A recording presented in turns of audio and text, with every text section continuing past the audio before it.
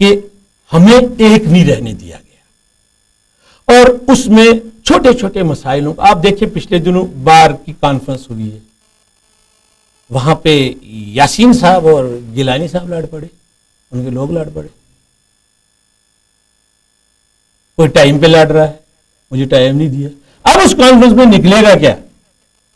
यहाँ पे कॉन्फ्रेंसें की जाती है अपने मुफाद, अपने नाम को बढ़ाने के लिए।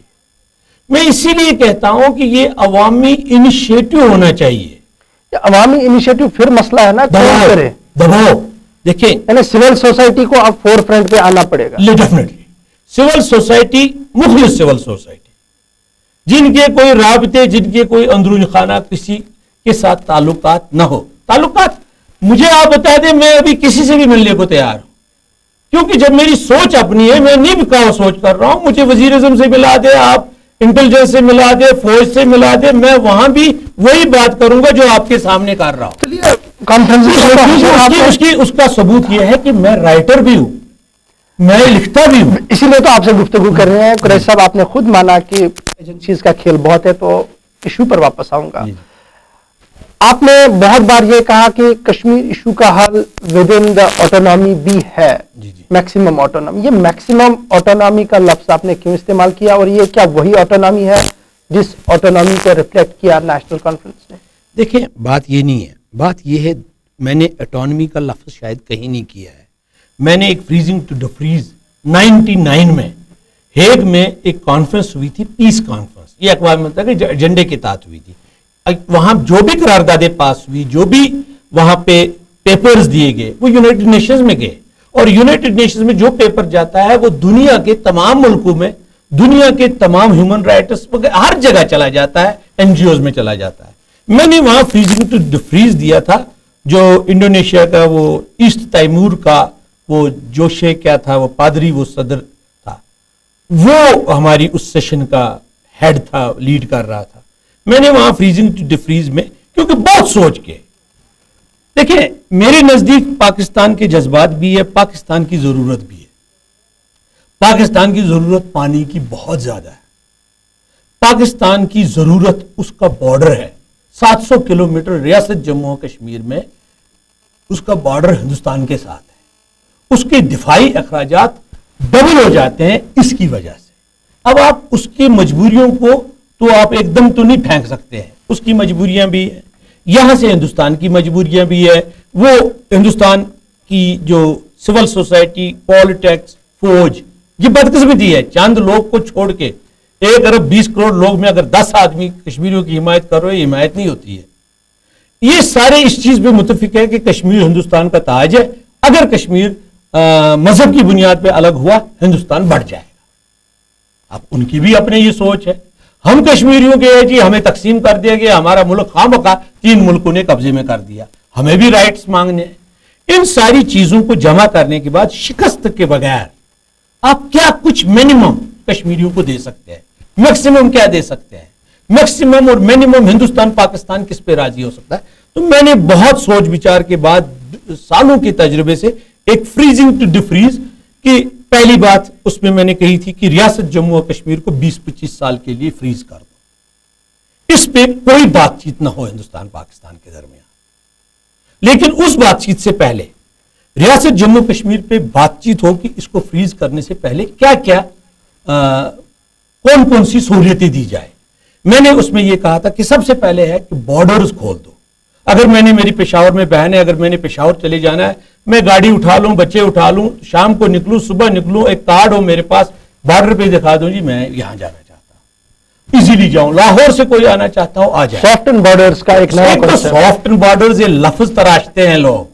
मैं कहता हूँ open the borders open the borders हर पाकिस्तानी हर हिंदुस्तानी के लिए और कश्मीरियों के लिए दोनों इनको जुदाई का एहसास ना हो लकीर का एहसास ना हो। एक तो बात यही मैंने की थी उससे एक बात होती कि लाहौर से यहाँ आना है मेरी बहन को। उसको दो साल लगते हैं कागज़ भरने में। उसको यह एहसास ना होता हम तकसीम है। वो जब भी मर्ज़ी है यहाँ आ जाती है। इसी तरह पेशावर, लाहौर, कराची, मिस्र। तो एक तो सेंस मतलब वो जो जहन में एक बोझ है कि बॉर्डर्स है, वो खत्म हो जाता लोगों के अंदर एक आ जाती कि हम इकट्ठे उसके बाद ट्रेड जिसको जो मर्ज़ी है, जो भी ट्रेड है, उठा के वहाँ ले जाए, वहाँ से यहाँ ले जाए, अगर कोई खरीदार है उसको अब ये नहीं होता है कि आप कंधे पे उठा ले वो एक मतलब चैनलाइज होता है सिस्टम के तहत होता है। ये मैंने कहा था। उसके बाद मैंने ये कहा था कि आज़ाद कश्मीर और यहाँ पे जब ये आसाइश दे दो फौज को निकाल दो। फौज बैरकू में चली जाए। और फौज बैरकू में चली जाए इंडिया पाकिस्तान और कश्मीरियों का एक मुश्तर का कमीशन बनाया जाए।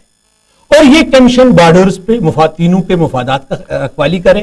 और ये सारे मुफादात की रखवाली करे क्योंकि इसमें हिंदुस्तानी भी मौजूद होगा पाकिस्तानी भी और कश्मीरी भी। इसमें गड़बड़ नहीं होगी। और तीसरी चौथी बात मैंने कही थी कि ये जो फिर इलेक्शन करवाया जाए दोनों इलाकों में उधर पाकिस्तान के जेर तहत एनजीओ लाया जाए यहाँ पे भी एनजीओ लाए जाए और इलेक्शन कराए। और ये जो मुंतखब हो जाएँगे नुमाइंदे इनकी एक आपस में एक काउंसिल बनाई जाए वहाँ के दस मेंबरों की यहाँ के दस मेंबरों की। जो लीगलाइज जो कानून, जो मुख्तलिफ़ चीज़ों पे मीटिंगें करे। और इसको आहिस्ता आहिस्ता मतलब ये मैंने इसको आहिस्ता आहिस्ता, और हिंदुस्तान, पाकिस्तान इसको तरक्की के लिए, बढ़ावा के लिए, जहाँ कम तरक्की है, वहाँ ज़्यादा तरक्की कराई जाए, जहाँ ज़्यादा तरक्की है, वहाँ पे उस तरक्की को उसके साथ मिलाया जाए, किसी भी, और फिर डिस्ट्रिक्टों को, और फिर कम्युनिटियों को, फिर सोबों को इतने अख्तियार दिए जाएँ, वो एक दूसरे के इलाके को, ये ना समझे वो मेरा इस्तेसाल कर रहा है वो इसी दौरान मैंने ये कहा था, इसी दौरान आहिस्ता आहिस्ता इस तरफ़ ये फ्रीज कर दे। हिंदुस्तान, पाकिस्तान, ये एक मुकम्मल प्रोसेस करने के बाद अपने मसाइल हल करें। क्योंकि एक बात आप मेरी याद रखें, और ये एक कड़वा सच है और बिल्कुल सच है कि हिंदुस्तान, पाकिस्तान के दरमियान जो साठ, बासठ सालों से नफरत क्रिएट हुई है, वो नफरत की दीवार इतनी बड़ी है कि जब तक वो नफरत कायम रहेगी इनके मसाइल हल नहीं होंगे। और जिस वक्त हिंदुस्तान पाकिस्तान आपस में बातचीत करता मसला कश्मीर खत्म जब मसले कश्मीर के ऊपर बातचीत 20 साल न होती तो उनके अपने विजा के मसाइल उनके अपने ट्रेड की मसाइल उनके अपने पानी की मसाइल वो हल हो जाते 20 साल के बाद देखते हैं जी कश्मीर पे हम कहाँ पहुँचे?